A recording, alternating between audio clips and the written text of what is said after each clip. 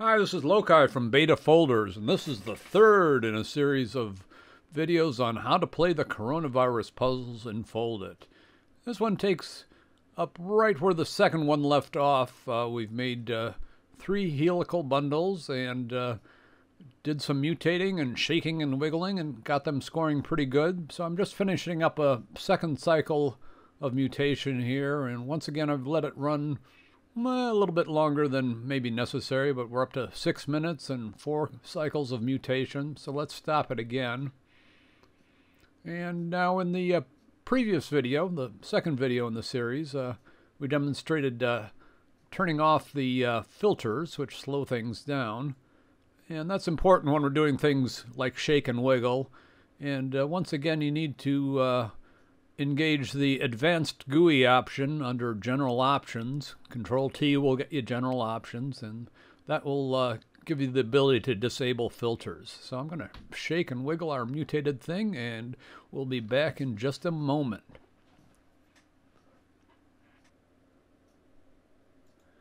Okay, that's enough of that.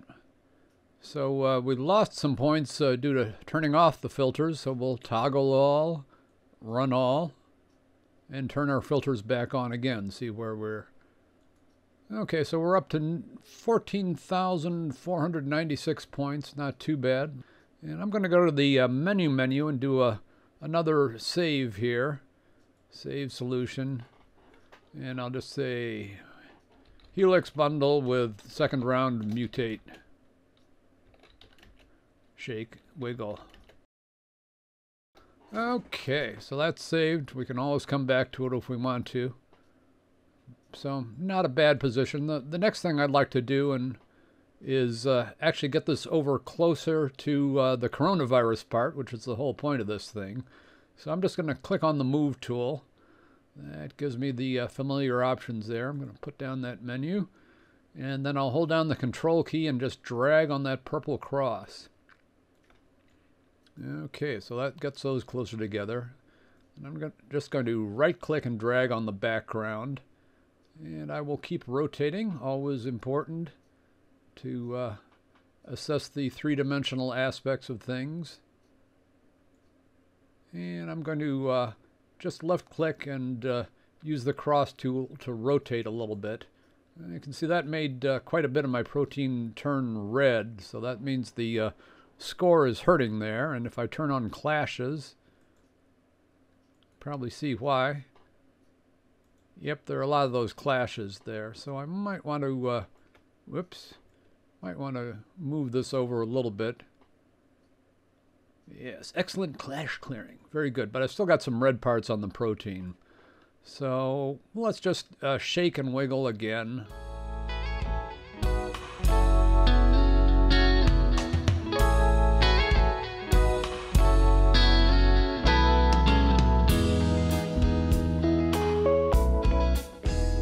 So I did a little bit of shaking. Now I'm wiggling. And you'll notice that my uh, protein, my binder is moving away from the uh, coronavirus part. So that's going to be common because the that's that's one way of getting rid of those clashes. Okay, we're starting to spin here. So now what we'd probably like to do at this point is go back to view options and we have been in stubs mode here where we show just a little nub for each of the side chains. So I'll instead turn on all side chains. And that gives you a better idea of how far you are from the coronavirus. And uh, also we want to get the uh, side chains on our designed part closer to the more colorful side chains as, as we discussed in the first video. Uh, those, those are the, the movable side chains in the coronavirus part and uh, I picked kind of the underside of the groove here so I'm not feeling too good about that right now actually. So let's just try a different position. And again we're, we're not doing too badly in terms of the score. We're off a little bit from where we were but uh, let's try an entirely new position. So I'm just going to use the move tool and I'm just going to control click and drag on that and I'm going to move right around to the other side of the coronavirus and oops, started something there by accident. Stop that, whatever it was. Let's grab this again. move it up a little closer. So right now the score is going to be horrible. A lot of clashing because I have two things in the same place at once, and that's bad. So let's drag through here. That'll clear a lot of the clashes. Create some new clashes. And I'm feeling a little bit better about this. So I think this may be a better side of the coronavirus spike protein to try to bind to. I'm just going to move it in here. And still some clashing. So I'm going to take a different approach. I'm just going to wiggle for a, a very short little bit. So I'll open the actions menu, click on wiggle, and get ready to stop it. This will cause my protein to move. Okay, moved a little bit farther than I hoped. Wasn't able to stop it quick enough. Okay, so let's use the move tool again. I'm just going to put down this menu for the sake of uh, visibility. Let's move it a little bit closer. Yeah, still not too bad. Still not too bad. Getting one little clash there. Uh, let's let's rotate over in this direction a little bit. Gives us some more opportunity for clashes. But those clashes can turn into binding. So let's see where we get from there. We've knocked nearly 5,000 points off the score. Okay, so that's good as far as I'm concerned. The, the next thing I want to do is try another round of mutation. And so we'll open up the actions menu. We'll just click mutate. And I could have done a save here, but uh, that's okay. I have a, pretty good save. We can always go back to that if we want to. So let's just do mutate, and we'll time lapse it here. Okay, so we've gone through three complete cycles, uh, well, two, two plus cycles anyway of mutate, nearly five minutes, so let's stop that again. You notice that all the uh, clashes that we were seeing a minute ago have disappeared here. So uh, let's try another shake and wiggle. Uh, once again, we'll go uh, time lapse on this.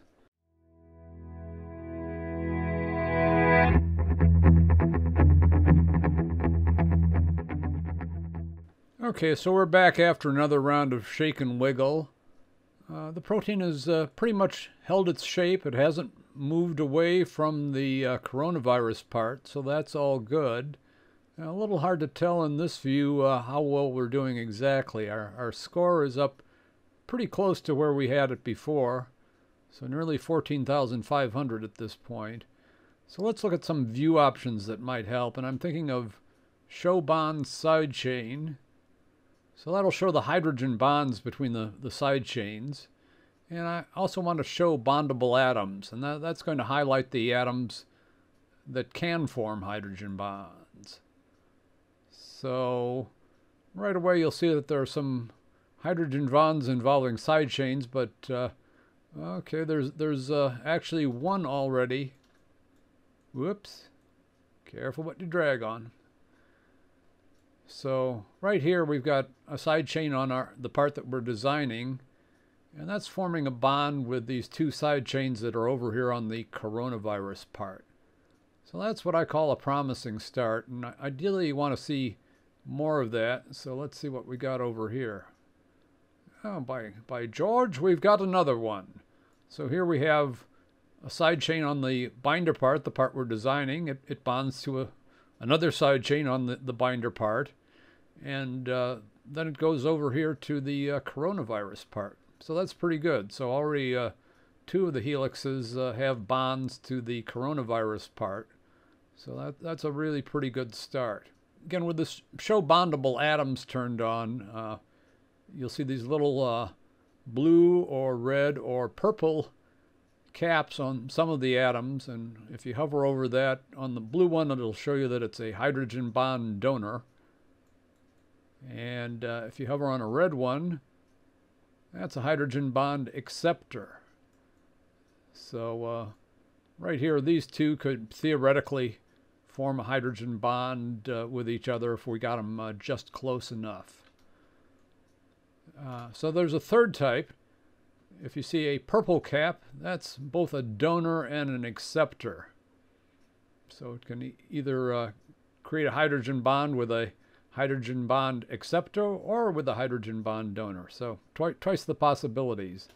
And that has to do with the uh, actual hydrogen atoms that are near that atom. Uh, so if we show, do, click uh, Show All Bondable H, that'll show us some more atoms. Uh, normally we kind of neglect the uh, hydrogen atoms, but if you turn that on, you can see that there's, uh, technically this is an oxygen atom, and it's got a hydrogen atom right next to it. So that lets the oxygen uh, function as either a donor or acceptor. And over here we have a blue atom. That's a nitrogen, I happen to know, and that has three hydrogen atoms. So potentially that guy could uh, participate in three hydrogen bonds, but uh, it can only be an, a uh, donor, not an acceptor. So anyway, that's uh, a pretty promising start. And just a little look ahead. The previous uh, series of steps was done on puzzle 1808, which has expired since then. And we're currently on uh, puzzle 1811 as far as the coronavirus goes.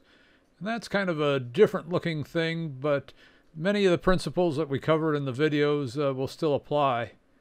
In this one, uh, it's a little bit different because we have a locked part here that's actually part of the area that you're designing. And there are these two long, straight blue things. Uh, these are like the cut points that we looked at, but you can't get rid of them no matter how close they get. So they're kind of permanent cut points. And I'll zoom out some more. Then on either side of the locked part, there's it's a little hard to see, but there's a long straight chain again. So that's the extended chain, and we We'll move them apart a little bit so you can see it better. So again, you can design that uh, unlocked part into whatever you, you uh, feel like. And uh, the locked part, well, that's going to stay where it is. But uh, if we zoom in on that again, you'll notice it has colorful side chains. So that's, that's a hint that those side chains can at least move. And we can look at these. That's Valine. That's also valine. So it's got unlocked side chains on the one side anyway, and they're all valine. So that's that's probably a hint. So we could try hotkey 4, design mode, and then we can left click on one of these orange side chains here in this locked part of the design section. Oh, it can mutate. Okay, so I changed the valine in that one to histidine. So our friendly five-sided ring there.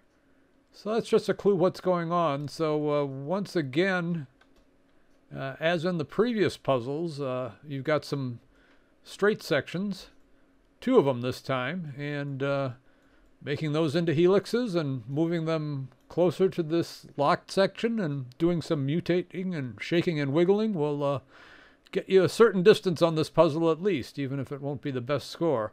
We've been working on this one for a little while now. It's still in its first day, but uh, one thing we've noticed, and we, we've seen this in, in previous puzzles that have had this permanent cut point feature, is that it's very difficult to get an ideal loop across that permanent cut point. Uh, the remix tool, which would be the primary way you do that, uh, doesn't work on anything that has a cut point in it, and it, doesn't work in this case either. Uh, it also doesn't work on anything that, that you've, uh, as a user, have frozen. Um, so it, it really doesn't work on this locked section with the uh, permanent cut points at each end of it. So that that's a challenge, uh, but uh, everybody else is facing the same challenge, and so good luck on that. I think that's uh, going to wrap up this series. that's all for today. thanks for watching, and keep on folding.